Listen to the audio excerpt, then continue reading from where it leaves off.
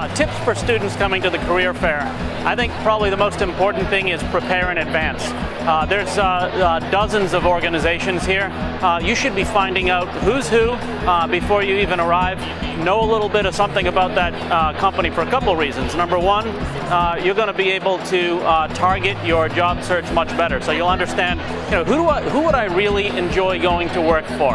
Um, who, is, who, who has the type of uh, positions that I'd be interested in, and who has that kind of corporate culture where I think I could fit in. Uh, so that's one thing. Number two, when you walk up to that table and you show that you have uh, that you know a little bit about uh, a little something about that organization, that sends a great message, right, to the recruiters.